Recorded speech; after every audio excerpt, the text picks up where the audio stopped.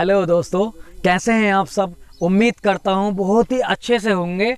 तो सबसे पहले आप सबको जितने भी मेरे यूट्यूब चैनल के सब्सक्राइबर हैं और हिंदुस्तान के जितने भी लोग हैं, सबको मेरी तरफ़ से, मेरे चैनल की तरफ़ से ईद की बहुत बहुत शुभकामना ये टाइम बहुत ही सख्त टाइम चल रहा है, जिस टाइम कोरोना चल रहा है इस टाइम और लॉकडाउन ही लॉकडाउन चल रहा है। कारोबार बिल्कुल ठप हो गए हैं। ऐसे में ईद का मज़ा थोड़ा किरकिरा हो गया है लेकिन फिर भी ऊपर वाले ने सबका काम अच्छे से करते हुए और ये आ गया है ईद का। तो सभी को मेरी तरफ़ से बहुत बहुत मुबारकबाद। ईद की बहुत बहुत शुभकामनाएँ।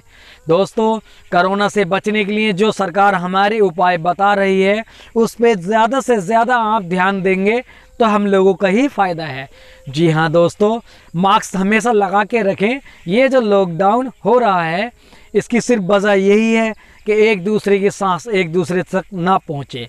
जी हाँ दोस्तों, दूरी बना के रखें और हाथों को बार बार धोएँ मास्क लगा के रखें सैनिटाइजर यूज़ करें। आज की वीडियो का मकसद सिर्फ़ यही था कि ईद की बहुत बहुत मुबारकबाद हो। हिंदुस्तान के लोगों को और मेरे यूट्यूब के सब्सक्राइबर जितने भी हैं उन लोगों को ईद की बहुत बहुत शुभकामनाएँ।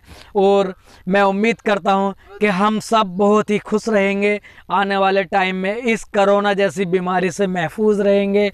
और हम जो हमारी हिंदुस्तान की सरकार हमसे बोल रही है पालन करने के लिए नियम का तो हम उस नियम का पालन करेंगे मास्क लगाएँगे हाथ धोएँगे और दूरी तो बना के रखेंगे। आप लोगों से एक रिक्वेस्ट और है कि मेरे चैनल को सब्सक्राइब ज़रूर कर लें और बेल आइकन को प्रेस कर लें क्योंकि मेरी जो वीडियो होती हैं वो आप तक जल्दी से जल्दी उनका नोटिफिकेशन पहुँच जाए।